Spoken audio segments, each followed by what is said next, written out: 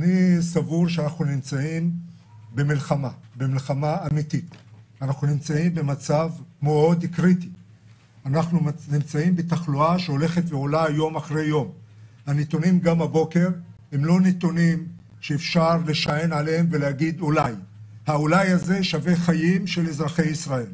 הנתונים הבוקר מראים, לפחות במה שקורה במערכת הבריאות בבתי החולים, ואני מוציא כרגע את מגן אבות ואת אשפוזי הבית, 950 חולים מאושפזים בבתי החולים הציבוריים מסיבת קורונה. לא נכבס יותר מילים, האם הם אושפזו מסיבה אחרת וקורונה על הדרך? ממש לא. זה אובחנו כקורונה, מתוכם כ-550 נמצאים במצב קשה, מתוכם 95 נמצאים במצב קריטי, ושאני אה, לא אטעה במספר, 17 חולים מחוברים לאקמו.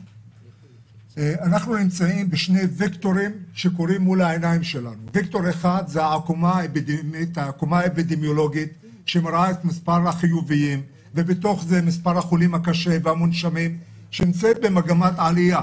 גם השיפוע הוא יותר משמעותי מאשר העבר. זה אומר שקצב העלייה הוא קצב יותר גדול. או שחלילה הנגיף מנצח אותנו ונגיע לפתרונות שאף אחד לא רוצה אותם, בין אם קוראים להם סגר,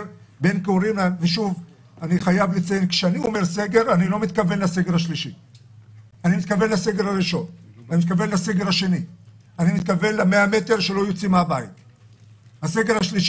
לקרוא לו סגר. וגם אה, בשביל הפרוטוקול, מה שהוציא אותנו מהאירוע האחרון, היה לא החיסונים שהתחילו לפעול תוך כדי הסגר. ולכן הרפרנס שלי הוא גרוע. הוא פתרון שקשה לי אפילו להגיד את המילה פתרון. הוא הסגר. ואנחנו כולנו רוצים להימנע מלהגיע למקום הזה. ואני אומר, אנחנו כרגע במרוץ נגד הזמן של השבועיים ושלושה שבועות. ככל שנצליח בחיסונים, גם במנה השלישית, גם במנה הראשונה של אותו מיליון, שאני מאוד אופטימי שעוד נצליח מולם, אני לא קורא להם סרבנים, בטח יש שם אידיאולוגים, אבל יש גם אנשים שאולי עוד לא הגענו אליהם, אולי לא דיברנו בדיוק בשפה או בכלי התקשורת שהם מכירים ושומעים.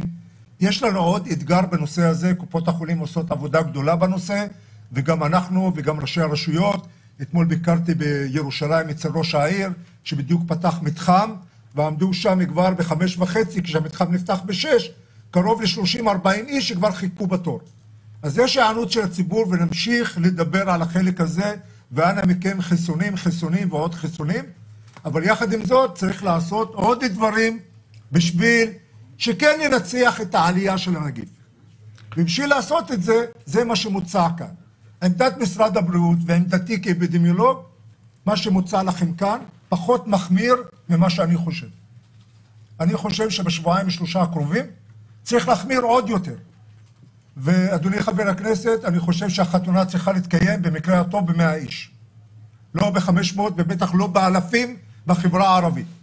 לצערי הרב, החברה הערבית, בחלק ממנה, לא נתייג את כולה, עדיין כאילו הקורונה לא הגיעה.